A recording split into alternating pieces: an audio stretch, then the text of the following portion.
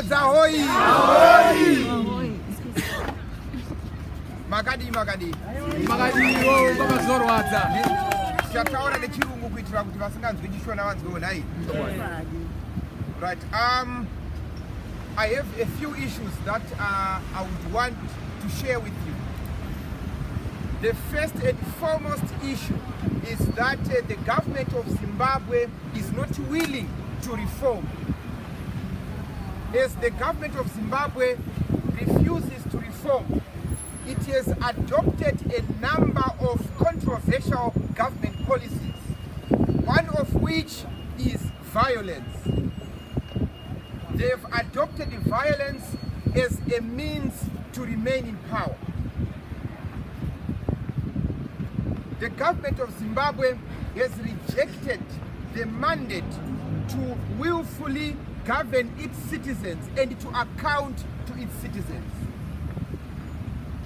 It has gradually drifted from the ethics and normal uh, procedures of governing a state, a normal state because it is a predatory uh, government, it has survived out of intimidation, torture, abductions, and murders.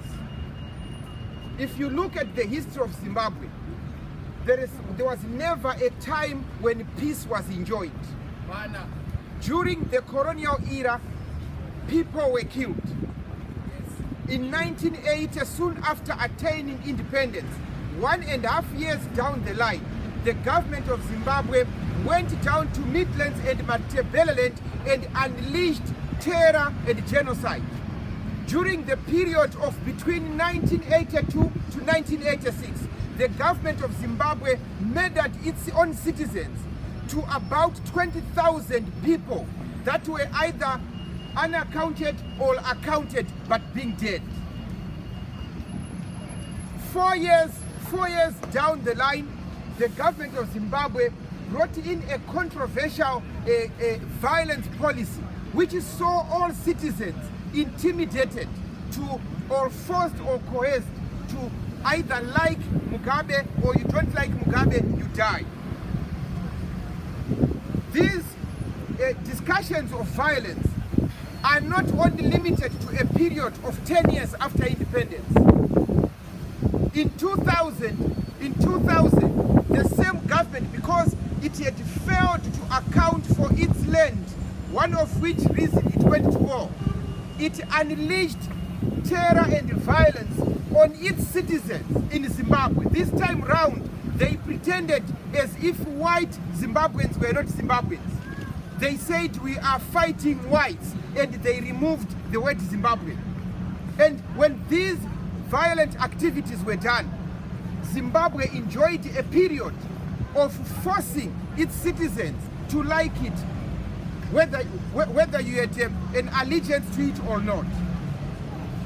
When we talk of violence in Zimbabwe, we are on, not only talking of violence against its own citizens, it has also extended a hand in killing foreigners.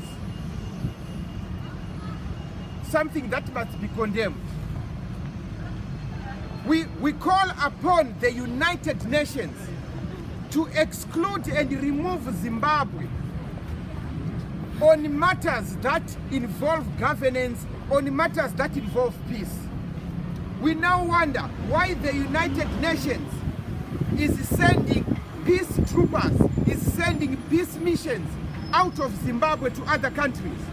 We have people who are maintaining peace in Liberia, Cote d'Ivoire, South uh, Sudan, Darfur.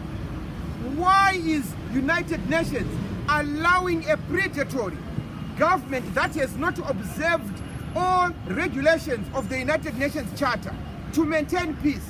It is as good as sending a serial rapist to look after someone's children. The United Nations is exporting violence from Zimbabwe to other nations. We are calling upon the United Nations to harness the uh, chapter 9, 8, and 13 of the United uh, Charter, which presupposes all nations to abide by the law, uh, by the international laws and the laws governing their constitutionalism. As we gather here today, at Zimbabwe House.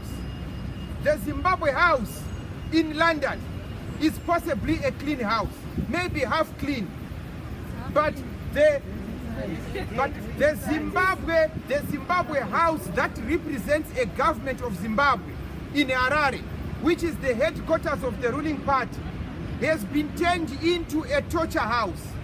Just two months ago, hundreds of people were brutalized inside the headquarters of ZANU-PF. And the government of Zimbabwe has said nothing about it. The president said, said nothing about it. And I'm sure the ambassador of, uh, of uh, Zimbabwe in London didn't say anything about it. What we are calling upon citizens of the world is to appreciate that peace overrides everything. And if we adopt peace, we will not endure what we are going through. Let us go down. In 2005, the government of Zimbabwe unleashed Operation Murambatsvina and it destroyed homes of people, the people that they had settled on those pieces of land. As if that was not enough, in 2008, 2008 the government of Zimbabwe murdered over 300 people uh, in cold blood because President Robert Mugabe wanted to cling on to power. As Zimbabweans, we call upon all Zimbabweans to unite across political divide. We call upon Zimbabweans and citizens of the world to rally behind suffering Zimbabweans so that their plight can be elevated and amplified to the world so, so that we can gain the magnitude of respect that we so wish. Let us talk about the nation of Zimbabwe today. Zimbabwe is in a comatose. The economy is not functioning. Yes. All systems of the economy and pillars of the economy have crumbled to the ground.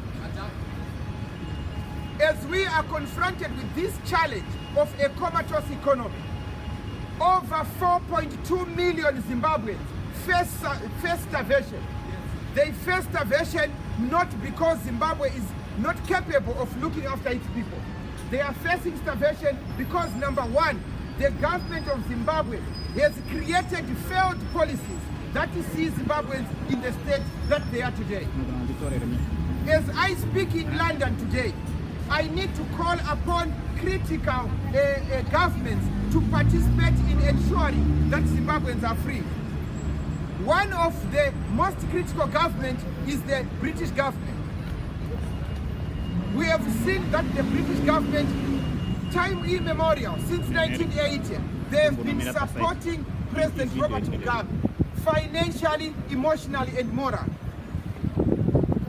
Today, we should mark the beginning of questioning the British government and asking what they are doing in trying to bring order in, in, in Zimbabwe. Of late, we heard that the ambassador of Britain in, in Harare had a soft touch on ZANU-PF. That is unethical. Why would people have a soft touch on individuals that have seen murder as a means of survival, that have murdered so many people unquestioned, that have power to kill and challenge?